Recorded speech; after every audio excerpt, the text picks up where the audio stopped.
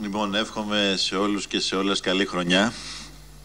Το 2018 είμαι βέβαιος ότι θα είναι για όλους μας ένας, ε, μια χρονιά ορόσημο, μια χρονιά σταθμός, ένα έτος γεμάτο προκλήσεις, που βεβαίως αυτές οι προκλήσεις για να μπορέσουν να, να ελοποιηθούν και να κερδιθούν με τον θετικότερο δυνατό τρόπο χρειάζεται σκληρή δουλειά ώστε να είναι όχι μόνο ένα έτος ορόσημο αλλά και ένα έτος δικαίωσης για τις θυσίες του ελληνικού λαού. Νομίζω ότι μπήκε με καλούς ιονούς το 18 ιδιαίτερα στον τομέα της οικονομίας μέσα στο επόμενο διάστημα και με ορόσημο αυτή τη συνεδρίαση την κρίσιμη του Eurogroup 22 του Γενάρη ολοκληρώνουμε τη διαδικασία της τρίτης αξιολόγησης και περνάμε στο τελευταίο κεφάλαιο του προγράμματος δημοσιονομικής προσαρμογής που συμφωνήσαμε υπό γνωστές συνθήκες το καλοκαίρι του 2015. Και έτσι κλείνουμε έναν πολύ μεγάλο κύκλο, μακροχρόνιο κύκλο επιτροπίας για τη χώρα που ξεκίνησε από το Μάιο του 2010 όταν η χώρα μας αποκλείστηκε από τις αγορές χρήματος. Ο αποκλεισμός αυτός δεν ήρθε φυσικά τυχαία.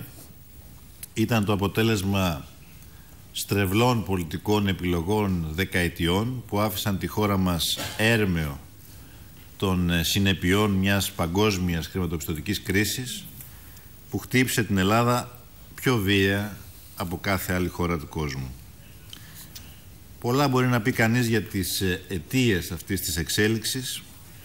Πρώτα απ' όλα μια οικονομία με σαθρή βάση, χωρίς αναπτυξιακό σχέδιο, με διαχρονική στέρηση στον τομέα των εσόδων. Δεύτερον, ένα κράτος στο οποίο οργίαζε μια πελατειακή λογική, η διαφθορά αλλά και η γενικευμένη φοροδιαφυγή και φοροαποφυγή και αυτό το τελευταίο επίσης δεν ήταν αποτέλεσμα ούτε αμέλειας ούτε ανικανότητας αλλά μια συνειδητή πολιτική, μια στρατηγική θα έλεγα οικοδόμηση συνενέσεων.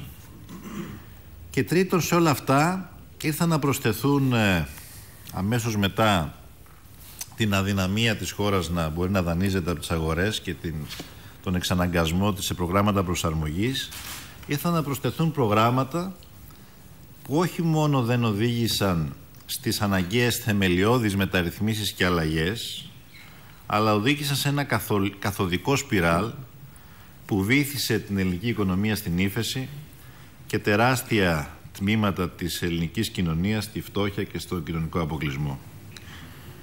Εμείς προσπαθήσαμε κατά τη διάρκεια της διαπραγμάτευσης του 2015 να αντιστρέψουμε την, πορά, την ε, φορά αυτών των πολιτικών επιλογών. Δεν καταφέραμε βεβαίως όσα θα θέλαμε, αλλά πετύχαμε ένα πρόγραμμα που δεν μπορεί ούτε καν να συγκριθεί με τα δύο προηγούμενα. Και τούτο διότι λάβαμε υπόψη μας όχι μόνο τα μεγέθη τα οικονομικά, τα δημοσιονομικά, αλλά και την κοινωνία και τις ανάγκες της κατά τη διάρκεια της διαπραγμάτευσης. Οι κοινωνικές αυτές ανάγκες εντάχθηκαν στην εξίσωση ως μία από τις μεταβλητές του προγράμματος. Και ήταν ακριβώς αυτός ο λόγος που παρά τις ε, αναμφισβήτητες κοινωνικές συνέπειες καταφέρνουμε σήμερα να μπαίνουμε στην τελική φάση ολοκλήρωσης του τρίτου και τελευταίου προγράμματος, του τρίτου προγράμματος αλλά και του μόνου προγράμματος που ολοκληρώνεται με επιτυχία και αυτό έχει σημασία να το πούμε. Όλα δείχνουν ε, λοιπόν ότι βρισκόμαστε στην τελική ευθεία η δημοσιονομική προσαρμογή έχει ήδη ολοκληρωθεί. Το 2017 πετύχαμε για τρίτη συνεχόμενη φορά δημοσιονομική υπεραπόδοση ενώ η τρίτη αξιολόγηση κλείνει χωρίς ούτε, νέα, ούτε ένα ε, ευρώ νέα δημοσιονομικά μέτρα. Και αυτή είναι η πρώτη φορά που συμβαίνει αυτό στα 8 χρόνια που βρισκόμαστε εντός προγράμματος. Ποτέ ξανά στο παρελθόν δεν έκλεισε μια διαδικασία αξιολόγησης, ένας νέος προϋπολογισμός χωρίς την απέτηση από την πλευρά των δανειστών μας για νέα δημοσιονομικά μέτρα. Την ίδια στιγμή όμως, και νομίζω ότι αυτό είναι το πιο σημαντικό, η οικονομία συνολικά έχει μπει σε φάση ανάκαμψης. Τα θεμελιώδη μεγέθη ανακάμπτουν σταθερά. Οι ξένες επενδύσεις το 2017 άγγιξαν τα 4 δισεκατομμύρια ευρώ, ποσό ρεκόρ για την τελευταία δεκαετία, όχι μόνο για την περίοδο της κρίσης, ενώ και το λιανικό εμπόριο παρουσιάζει ανάκαμψη που ενισχύθηκε ακόμη περισσότερο και ως αποτέλεσμα της ε, απόφασής μας για την παροχή του κοινωνικού μερίσματος το Δεκέμβρη α, συνολικού ύψους πάνω από ένα δισεκατομμύριο ευρώ. Αν συνυπολογίσουμε και τις ε, επιστροφές, τις συντάξεις συνολικά πάνω από ένα δις πήγε στους πιο αδύναμους και βεβαίως αν όχι όλος η συντριπτική πλειοψηφία αυτού του ποσού έπεσε αμέσως στην πραγματική οικονομία.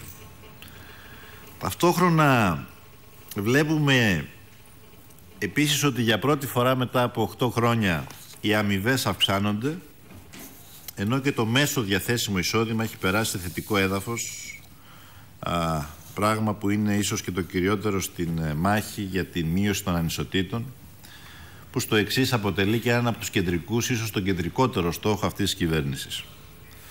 Και είναι ακριβώς αυτά τα χειροπιαστά συγκεκριμένα αποτελέσματα που έχουν οδηγήσει στην ε, σταδιακή αποκατάσταση της εμπιστοσύνης στην ελληνική οικονομία. Εμπιστοσύνη που βεβαίως εκφράζεται και στην εντυπωσιακή πορεία, κατά κοινή παραδοχή εντυπωσιακή πορεία των ε, ελληνικών ομολόγων. Δεν θέλω να κουράσω με νούμερα, αλλά να σημειώσω ότι το ελληνικό δεκαετές ομόλογο κινείται ήδη σε έδαφος κάτω από το 4% σημειώνοντας τις ε, χαμηλότερες αποδόσεις του εδώ και μια δεκαετία. Την προηγούμενη εβδομάδα, αν δεν κάνω λάθος, έκλεισε με το χαμηλότερο ποσό της τελευταίας 12 ετίας. Άρα είναι φανερό ότι πλέον έχουμε μπει σε μια πορεία που φανερώνει πως ε, η επιστροφή της χώρας μας στις αγορές χρήματος τον ερχόμενο Αύγουστο, μετά τον ερχόμενο Αύγουστο, α, όταν και λίγη η δανειακή σύμβαση, δεν θα είναι κάτι το οποίο είναι απλά μια ρητορική ή ένα σύνθημα, είναι κάτι το οποίο μπορεί να συμβεί. Όλες οι ενδείξεις αυτό φανερώνουν και συνεπώς νομίζω ότι αυτός είναι ένας πολύ σημαντικός στόχος τον Αύγουστο να μπει ένα οριστικό τέλος στα προγράμματα στη συνθήκη της Επιτροπής στην, στην οποία η χώρα μας μπήκε τον Αύγουστο του 10 ακριβώς επειδή δεν μπορούσε να δανειστεί από τις αγορές. Σήμερα λοιπόν ε, τα μεγέθη είναι τέτοια που μας γυρνάνε σε χρόνια πολύ πριν το 10. Έχουμε χαμηλότερο 12 ετίας που σημαίνει ότι αν αυτή τη στιγμή βγούμε στις αγορές έχουμε ένα μέγεθος που αντιστοιχεί στο ποσό που δανειζόμασταν το 2006. Πολύ πολύ πριν την κρίση. Δεν είναι όμως μόνο τα αποτελέσματα στην οικονομία που είναι θετικά. Και το κρίσιμο για μας αυτή την ώρα είναι να μπορέσουμε να μεταφέρουμε τους θετικούς ε, δείκτες στην πραγματική ζωή των πολιτών. Από τους ε, αριθμούς, τα θετικά μηνύματα να πάνε στους ανθρώπους. Αυτό είναι το κρίσιμο. Έχουμε λοιπόν θετικούς, ε, θετικά μηνύματα και θετικούς δείκτες όχι μόνο στην οικονομία αλλά και στην κοινωνία. Η ανεργία μειώνεται σταθερά τα τελευταία δυόμιση χρόνια. Κατά τη διάρκεια της ε, δικής μας διακυβέρνησης έχουν δημιουργηθεί περίπου 320.000 περισσότερες θέσεις εργασίας με την πλειοψηφία αυτών των νέων θέσεων να είναι θέσεις πλήρους απασχόλησης. Παρά το γεγονός βεβαίως ότι το ποσοστό μερικής απασχόλησης είναι ακόμη υψηλό, το σημαντικό είναι ότι καταφέραμε να αντιστρέψουμε τη φορά. Την τάση δηλαδή υπέρ των θέσεων μερικής ε, ε, απασχόλησης που είχε δημιουργηθεί ιδιαίτερα την περίοδο 2012-2015. Ενώ την ίδια στιγμή δίνουμε μάχες ε, με θετική έκβαση πολλές φορές στον τομέα της ε, υποδηλωμένης και αδήλωτης εργασίας έχοντας καταφέρει να μειώσουμε το ποσοστό από το 19% στο 13%. Κατά τη διάρκεια της διακυβέρνησής μας επίσης έχουν γίνει μεγάλες τομές και στον τομέα της καταπολέμησης της γραφειοκρατίας, της πάταξης της διαφθοράς, αλλά κυρίως στον τομέα της ε, οικοδόμησης ενός ε, νέου κοινωνικού κράτους. Είναι ακριβώς σε αυτό το σημείο που γίνεται εμφανής και η διαιρετική γραμμή που μας χωρίζει από τις δυνάμεις του παλιού πολιτικού συστήματος. Είναι εκεί που φαίνεται με χαρακτηριστικό τρόπο τι σημαίνει α, πως η κοινωνική μεταβλητή έχει ενταχθεί στην εξίσωση της ε, διαμόρφωσης του προγράμματος προσαρμογής. Δεν χρειάζεται να πω πολλά, αρκεί να περιγράψω, αρκεί να αναφερθώ στον ε, προϋπολογισμό των οικογενειακών επιδομάτων που στο πλαίσιο της διαπραγμάτευσης για την τρίτη αξιολόγηση καταφέραμε να αυξηθεί κατά 260 εκατομμύρια ευρώ το 2018 φτάνοντας ε, αθρηστικά στα 910 εκατομμύρια. Πράγμα που σημαίνει ότι φέτος περίπου 600.000 οικογένειες θα δουν αυξημένα επιδόματα τέκνων. Να αναφερθώ επίσης ε, στις μεγάλες προσπάθειες για τη χρηματοδότηση και στελέχωση του Εθνικού Συστήματος Υγείας που φαίνεται ότι σιγά σιγά έχει αρχίσει να στέκεται στα πόδια του παρά τα προβλήματα αλλά να αναφερθώ και στην μεγάλη προσπάθεια για τη μεταρρύθμιση που αφορά την πρωτοβάθμια φροντίδα υγείας που είναι σε εξέλιξη με τη δημιουργία τοπικών μονάδων υγείας. Να αναφερθώ στα 140.000 σχολικά γεύματα αλλά και στις μεγάλες προσπάθειες που γίνονται στο χώρο της παιδείας για την αναβάθμιση του δημόσιου σχολείου. Όλα αυτά και πολλά περισσότερα αποτελούν συγκεκριμένα δείγματα γραφής για τις προθέσεις και το σχεδιασμό μας. Και το 2018, έτος εξόδου από την Μνημονιακή Επιτροπή, θα είναι μια χρονιά επιτάχυνσης, ευάθυνσης των δικών μας πολιτικών αντιλήψεων και πρωτοβουλειών. Θα είναι μια χρονιά όπου θα μπορέσουμε να κάνουμε ακόμη πιο σαφές το δικό μας ταξικό πρόσημο και τον δικό μας πολιτικό προσανατολισμό. Και θα έλεγα ότι αυτό ακριβώς είναι και το κλειδί για την βελτίωση των συνθηκών διαβίωσης της μεγάλης κοινωνικής πλειοψηφίας. Αυτό είναι το κλειδί για την ενίσχυση μιας μεγάλης κοινωνικής ε, συμμαχίας με τα στρώματα που θέλουμε προνομιακά να εκφράζουμε και να εκπροσωπούμε. Μας κατηγορούν κάποιοι για μεροληψία.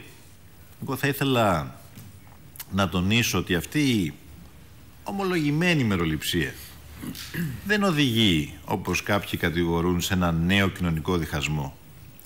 Δεν οδηγεί σε μια νέα διαίρεση. Αντίθετα, θα έλεγα ότι ενώνει όλους τους πολίτες, όλες τις κοινωνικές δυνάμεις, σε έναν ενιαίο αναπτυξιακό σχεδιασμό με όρους κοινωνικής δικαιοσύνης. Είναι ακριβώς αυτή η μεροληψία που μπορεί να εγγυηθεί, θα προσέθετα εγώ, την αναπτυξιακή πορεία της χώρας. Γιατί δεν μπορεί να υπάρξει βιώσιμη και δίκαιη ανάπτυξη χωρίς ταυτόχρονη προσπάθεια για μείωση των ανισοτήτων, χωρίς ε, ενίσχυση του εισοδήματος, χωρίς αποκατάσταση της κοινωνικής συνοχής και της δικαιοσύνης. Κάθε άλλη συνταγή έχει αποδειχθεί στο παρελθόν ότι δεν κάνει τίποτα άλλο παρά να προετοιμάζει το έδαφος για μια νέα κρίση. Εμείς αντίθετα διαμορφώνουμε καθημερινά τις προϋποθέσεις για να φύγουμε οριστικά από τη συνθήκη της κρίσης. Και το καλοκαίρι του 18, το τέλος των μνημονίων θα είναι για μας ένας σταθμός στη μακρά πορεία ανάκαμψης της οικονομίας και στη μακρά πορεία για την ανασυγκρότηση της κοινωνικής συνοχής και της κοινωνικής ισορροπίας. Ένας σταθμός, σημαντικός μεν, αλλά όχι το τέλος της διαδρομής. Γιατί στόχος μας δεν είναι να επιστρέψει η χώρα στην πρώτη 2010 περίοδο κουβαλώντας τις ίδιες παθογένειες, τις ίδιες τρευλώσεις και τις ίδιες αδυναμίες που την οδήγησαν στη χρεοκοπία. Γι' αυτό και επενδύουμε σε έναν αξιόπιστο και μακροπρόθεσμο αναπτυξιακό σχεδιασμό με στήριξη των επενδύσεων, με κεντρικό ρόλο στην εργασία, με αναδιανεμητικό πρόσημο, με στήριξη του κοινωνικού κράτους και με καταπολέμηση της διαφθοράς. Επιτρέψτε μου όμως λίγα λόγια για αυτό το τελευταίο, για την καταπολέμηση της διαφθοράς. Διότι πιστεύω ότι η καταπολέμηση της διαφθοράς μαζί με την ε, στήριξη της εργασίας και την οικοδόμηση ενός νέου κοινωνικού κράτους ίσως αποτελούν και τον πυρήνα, τον σκληρό πυρήνα των κυβερνητικών πρωτοβουλειών της νέας περίοδου. Τρία χρόνια τώρα δίνουμε καθημερινή μάχη. Μάχη στο εσωτερικό των Υπουργείων, μάχη στο Κοινοβούλιο, μάχη στους ελεκτικούς μηχανισμούς.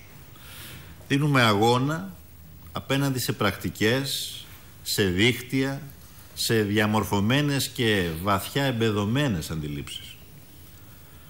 Και είναι λαϊκή απέτηση αυτή τη μάχη και αυτή την προσπάθεια να τη συνεχίσουμε. Να πετύχουμε περισσότερα και πιο απτά αποτελέσματα, να αποδείξουμε ότι όχι μόνο εμείς είμαστε διαφορετικοί, αυτό νομίζω είναι το εύκολο, γιατί είμαστε και φαίνεται, αλλά να αποδείξουμε και ότι είμαστε αποφασισμένοι. Αποφασισμένοι να επιμερίσουμε ευθύνες, να αποκαταστήσουμε το αίσθημα δικαίου, να συνδράμουμε στο, στην μεγάλη, στην κοινή απέτηση θα έλεγα, για την απόδοση δικαιοσύνης. Και θα ήθελα να πω ότι αυτή την προσπάθεια θα τη συνεχίσουμε όλοι μαζί και ότι και εγώ είμαι αποφασισμένος αυτή η προσπάθεια να μην μείνει στη μέση. Θα κάνω και θα κάνουμε όλοι μας ό,τι πρέπει και ό,τι περνάει από το χέρι μας για να μην μείνει στη μέση. Έχουμε ευθύνη απέναντι στον ελληνικό λαό να σχεδιάσουμε συγκεκριμένες πολιτικές πρωτοβουλίες ώστε να αποδίδουμε καθημερινά δικαιοσύνη. Να μην επιτρέπουμε, για παράδειγμα, να γίνεται να γίνονται στόχους, στόχος του κράτους ή των τραπεζών η φτωχοδιάβολη της μισθωτής εργασίας ή της μικρής επιχειρηματικότητας ενώ την ίδια στιγμή μεγαλοεπιχειρηματίες που χρεοκόπησαν τις επιχειρήσεις τους και έβγαλαν τα χρήματά τους αφορολόγητα στο εξωτερικό ή και πολιτικοί που διασπάθησαν δημόσιο χρήμα να συνεχίζουν ανενόχλητοι να απολαμβάνουν τους καρπούς των παρανομιών τους στην πλάτη του ελληνικού λαού. Έτσι μόνο μπορούν να διαμορφωθούν και οι συνθήκες για την οικοδόμηση ενός νέου κοινωνικού και παραγωγικού μοντέλου. Και εκεί πρέπει να εστιάζονται όλες μας οι προσπάθειες. Δίκαιη ανάπτυξη, κοινωνική δικαιοσύνη, αλλά και απόδοση δικαιοσύνης για όλα όσα συνέβησαν στο παρελθόν, πλήγωσαν τη χώρα και την οδήγησαν στη χρεοκοπία. Το 2018 λοιπόν θα είναι ένα έτος γεμάτο προκλήσεις, δεν υπάρχει καμιά αμφιβολία γι' αυτό. Αλλά και σημαντικές ευκαιρίες, ευκαιρίες που δεν πρέπει να χάσουμε. Όχι μόνο στην οικονομία, αλλά και στην εξωτερική πολιτική. Όπως για παράδειγμα στο θέμα της ε, ονομασίας της πρώην Ιουγκοσλαβικής Δημοκρατίας Μακεδονίας που εδώ και 25 χρόνια βαλτώνει και βαλτώνει εις βάρος της χώρας μας. Έχουμε ένα παράθυρο για λύση στο βαθμό που η στροφή των γειτόνων μας αποδειχθεί ειλικρινής. Λύση που αν επιτευχθεί θα είναι προς όφελος της ειρήνης και της συνεργασίας στη Βαλκανική αλλά και προς όφελος μιας νέας δυναμικής για τη χώρα μας στην ευρύτερη περιοχή. Τις επόμενες μέρες λοιπόν θα φανεί κατά πόσο είναι εφικτό να γίνουν ουσιαστικά βήματα σε αυτή την κατεύθυνση. Τις επόμενες μέρες όμως δεν θα φανεί, θα γίνουν ουσιαστικά βήματα για να πάρουμε και την τελευταία στροφή, θα λέγα εγώ, πριν μπούμε στην τελική ευθεία του προγράμματος, στην τελική ευθεία των μνημονίων. Ολοκληρώνουμε τη διαδικασία της τρίτης αξιολόγησης και περνάμε στην τελική φάση των διαπραγματεύσεων για την έξοδο της ε, χώρας από το πρόγραμμα. Άρα λοιπόν είναι ακριβώς το 18 το έτος που θα διαμορφωθούν οι προϋποθέσεις επόμενης μέρας για την οικονομική ανάκαμψη, για την αναβάθμιση της διεθνούς θέσης και του διεθνούς ρόλου της χώρας μας, αλλά εγώ θα προσέθετα και για τους ορίζοντες που θα ανοίξουν για μια νέα μεγάλη πολιτική νίκη το 2019. Πρέπει λοιπόν να δουλέψουμε με προσήλωση ώστε να έχουμε τα καλύτερα δυνατά αποτελέσματα. Συντονισμένα, με αλληλεγγύη, χωρίς παλινοδίες, χωρίς καθυστερήσεις και βεβαίως την ίδια στιγμή να έχουμε στο μυαλό μας ότι έχουμε μπροστά μας να ολοκληρώσουμε και τις μεγάλες θεσμικές αλλαγές για τις οποίες έχουμε ήδη δεσμευτεί, να τις ολοκληρώσουμε αφήνοντας και το αποτύπωμα, το βαθύ μεταρρυθμιστικό στίγμα.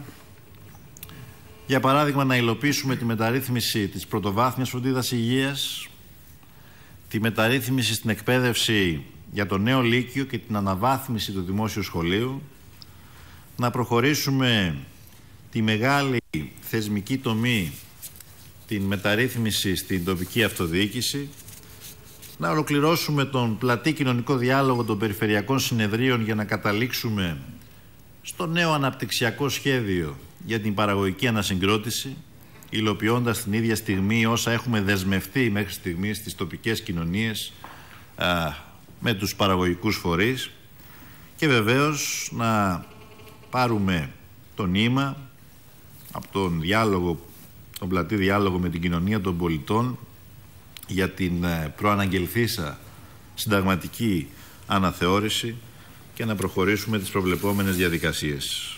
Ο δρόμος λοιπόν είναι μπροστά μας, η κοινωνία μας παρακολουθεί, οι πολίτες έχουν υψηλές προσδοκίες και είμαι βέβαιος ότι δεν θα τις διαψεύσουμε. Καλή χρονιά λοιπόν και καλή δουλειά.